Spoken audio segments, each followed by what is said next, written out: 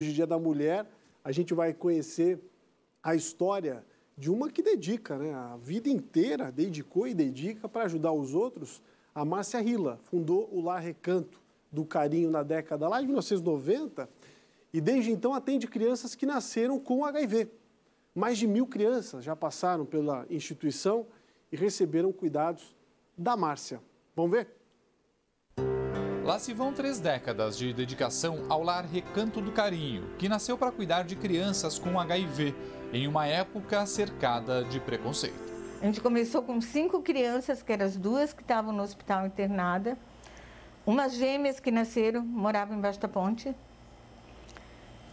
e que também, elas nasceram em maio, a gente abriu em julho, então elas ficaram esse tempo morando lá no GAPA, a gente levava comida, essas coisas para elas. E, e uma outra menina que era bem debilitada, a Fernanda. E aí a gente abriu com essas cinco crianças em julho, em dezembro a gente já tinha 15. E a casa era muito pequena. Até a mudança da sede de Coqueiros para o bairro Agronômica foi um desafio. Quando eles viram as máquinas, e aí eles já sabiam para que, que era a casa, porque a gente já estava lá. E aí eles faziam, faziam barreira humana, faziam essas coisas, ah, o mosquito vai morder as crianças dali, vai morder nossos filhos, como é que fica?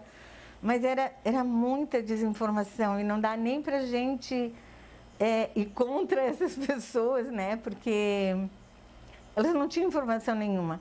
Com os avanços no tratamento e acolhimento na rede pública de saúde, o foco da instituição passou a ser crianças, adolescentes e jovens de até 20 anos em situação de vulnerabilidade. Atualmente, 14 estão abrigados aqui. Só que a história da Márcia com o voluntariado começou bem antes do lar existir.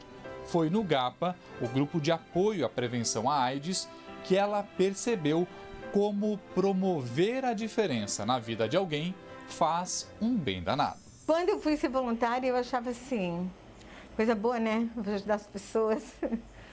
Vou ajudar as pessoas a resolver os problemas delas. Gente, não, assim, eu resolvi todos os meus problemas. Eu me ajudei. Elas, elas que me ajudaram. O que tu está fazendo é teu, é para ti.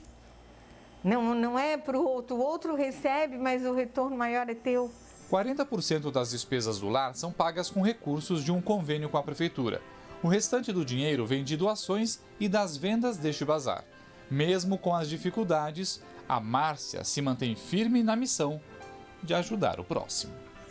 Olha, o lar para mim é é uma extensão da minha casa, assim, sempre foi. É, tanto é que já está mais do que na hora, né, de eu sair daqui, mas está difícil.